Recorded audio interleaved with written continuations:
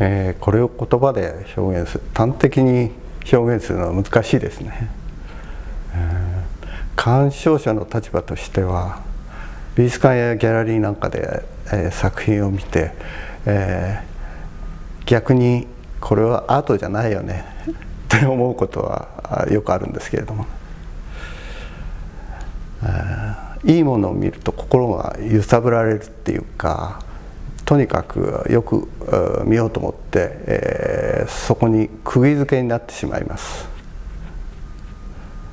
アートっていうのはある種の発見とか感動や共感なんでしょうか。なぜかわからないんですけれども言葉で言おうとすればするほど遠ざかっていくような気もします。自分自身の中でもその時々で受け止め方が変わってしまって、えー、まあ、変化していってるんだなって思いますね。それは年齢だったり、えー、見る場所とか環境とか自分の体調によっても変わってしまうんですね。えー、何とも捉え難いものだと思ってます。作り手側としてはそんな明示をしがたいものを追い求めているっていう、えー、感覚がいつもああります。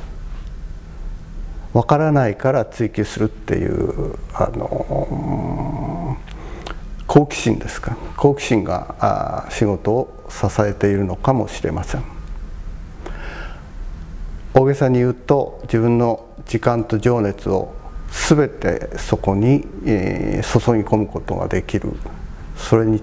足るえー、大事な、えー、大切な対象ということになりますね。えー、それでは作家として何をしたいのかっていうと自分があ見たことのない、えー、世界を見たいっていうことでしょうか独自の作品を作り上げたいっていうことですねまあそこにアートと入れるものが宿れば幸せだと思っています。